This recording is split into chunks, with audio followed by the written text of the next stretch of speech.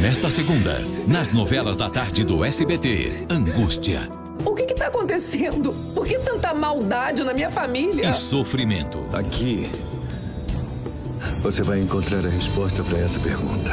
Érica erra na sua estratégia.